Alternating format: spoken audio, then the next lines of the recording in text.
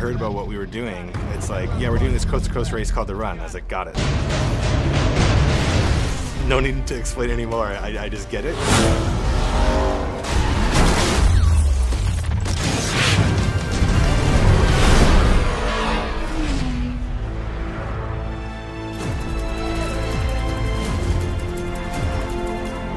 Past Need for Speed games have typically taken place in a fictional city. So the run actually takes place in the US and it's a legal race from San Francisco to New York City and we've never ever had that before. So there's definitely an epic quality to the run. It's not a casual race, like I'll just take it easy. Every second counts. Audio really brings scenes to life. So you can have fantastic visuals, which we do, fantastic art team, but then how do you bring that to life through sound? And so the feeling was really trying to nail the different geography that you're going to be traveling through. So the desert, for example, was going to sound different than the mountains, which is going to sound different than a busy city. In terms of sound effects for the run, we had to make things a lot more human. And to do that, we had to add more sound effects. In the past, we haven't had characters getting out of a car and running, even the, the dialogue as well. You head around front, I'll cover the back. Got it. We actually bring the sound team into the design meetings at the beginning when we're trying to think about what objectives do we want to accomplish with these trailers. It's so important to make sure those trailers come to life the source files that they have for actually creating the cars in game and then uh, what we use in our in our videos it's, it's a big deal because really the cars are the stars of the show. It's pretty amazing to hear what they actually sound like. Each car is recorded on average between 8 to uh, 12 mics just for onboard. And of course you know there's the exhaust.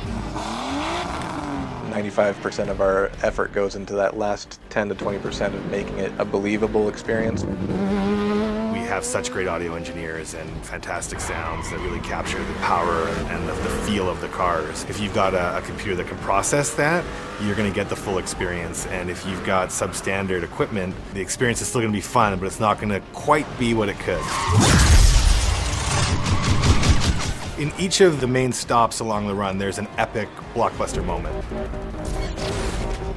The first big impact moment in Death from Above is you have this intense racing going on through the streets of Chicago, and then out of nowhere, you get T-boned by the mob.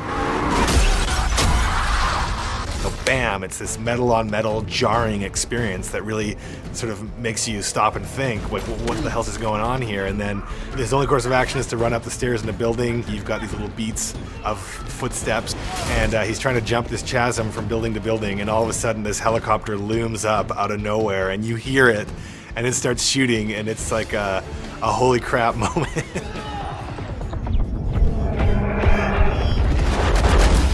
Of the helicopter and then the sound of the bullets hitting the, uh, the rooftops is, is pretty stark. And then, then, the next experience is that he has to get a cop car to be able to get out of the city alive.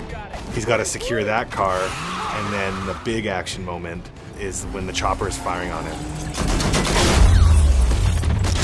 When you're driving that car and you first hear those bullets and hear those chopper blades whirring, it gets your heart rate pumping after you've eluded the helicopter, sort of, this gas tanker explodes in front of you.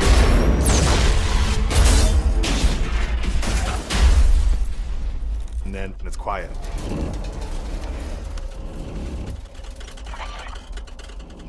You know, there's small kind of orchestral sounds to set the tone, and then all of a sudden the camera zooms in and you hear this shrill train horn it's, it's amazing to see consumers play that because at E3 that was the demo and it, was like their eyes were like, oh my gosh, I gotta get out of this car now. You're freaked out, you know, feeling relatively helpless inside that car. If you've got uh, a great system and you've got a great sound system as well, then it just makes your gaming experience that much more enthralling and, and just rewarding.